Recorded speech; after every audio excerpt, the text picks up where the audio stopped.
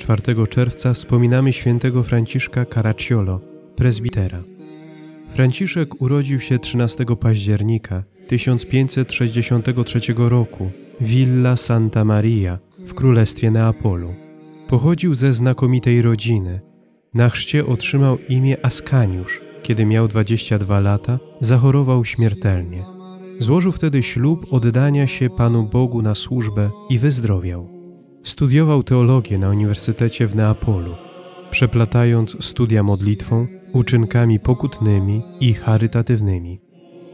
W roku 1587 przyjął święcenia kapłańskie. Zaraz też włączył się do Bractwa Kapłanów Neapolitańskich, których celem było towarzyszyć skazanym na śmierć, opiekować się więźniami i galernikami. Kaplica stowarzyszenia była w pobliżu szpitala dla nieuleczalnie chorych. Dzieląc pomiędzy te instytucje swoje zajęcia, młody kapłan zwolna pozyskiwał dla swojej apostolskiej pracy podobnie gorliwych kapłanów. Na początek zgłosiło swój akces dwóch. Wszyscy trzej przyjaciele udali się do pustelni w Camaldolli, by na modlitwie prosić o światło Ducha Świętego i opracować regułę. Postanowiono do ślubów ubóstwa, czystości i posłuszeństwa dołączyć ślub czwarty, nieprzyjmowania żadnych godności kościelnych. Papież Sykstus V zatwierdził regułę, a więc i nowy zakon w roku 1588. W ten sposób Askaniusz razem z Janem Adorno założył nowy zakon kanoników regularnych mniejszych, opiekujący się biednymi, chorymi i więźniami.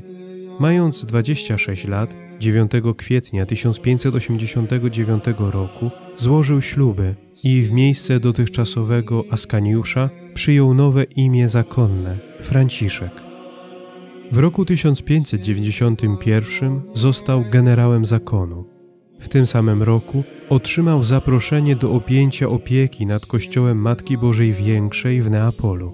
Trzy lata później, w roku 1594, powstał pierwszy dom zakonu w Hiszpanii, a w roku 1598 w Rzymie, przy kościele świętej Agnieszki na placu Navona.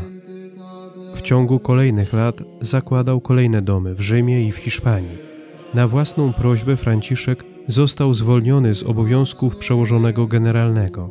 Piastował urzędy niższe, mistrza nowicjatu i przełożonego domu w Neapolu, potem wikariusza generalnego zakonu. Odznaczał się gorliwością, umartwieniem oraz nabożeństwem do Najświętszego Sakramentu.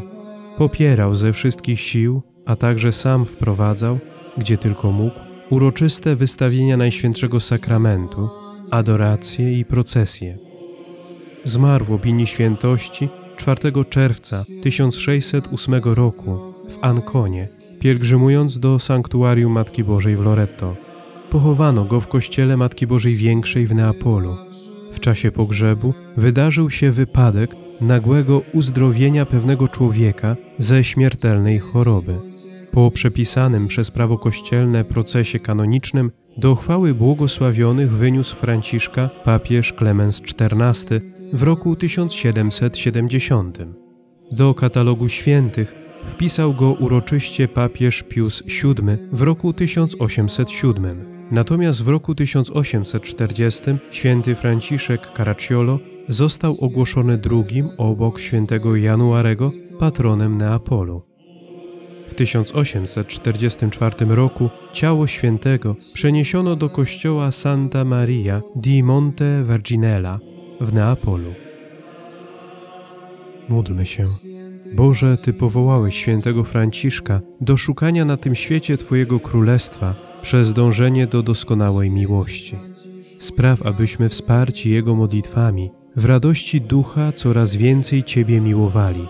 Przez naszego Pana Jezusa Chrystusa, Twojego Syna, który z Tobą żyje i króluje w jedności Ducha Świętego, Bóg przez wszystkie wieki wieków. Amen.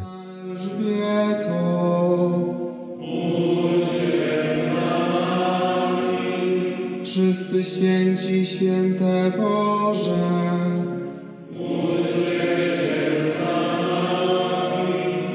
Bądź nam.